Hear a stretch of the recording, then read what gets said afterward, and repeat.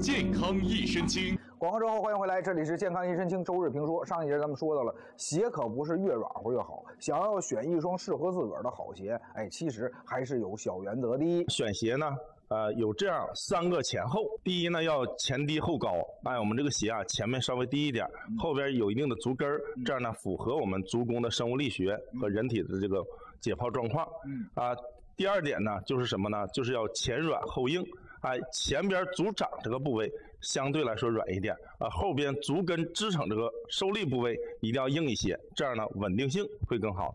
第三呢就是前宽后窄，哎，足掌这个位置要相对的宽松一些，这样呢足的舒适感就好。啊，后边呢足跟的位置要窄一点，那么能够把足跟牢牢的把持住，那么它的稳定性就好。哎，这样的鞋呢，这样的标准。那就是相对来说对足比较有益于健康的鞋。选鞋也是一个技术活，叫三个前后，大家伙一定要记住。